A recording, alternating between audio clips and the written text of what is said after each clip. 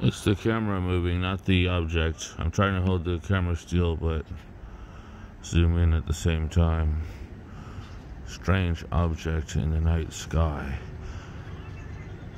It's uh, not really all over the place. It's the camera that I'm holding that's all over the place.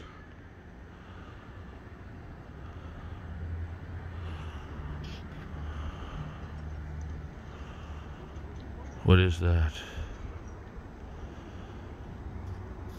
It's flashing different colors. It looks, at this distance, it looks round like a planet.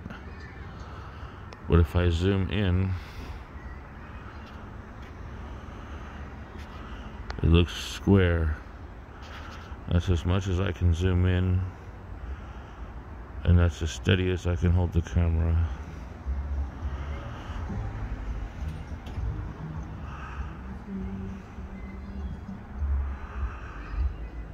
Interesting colors. Whatever it is, it's very far away.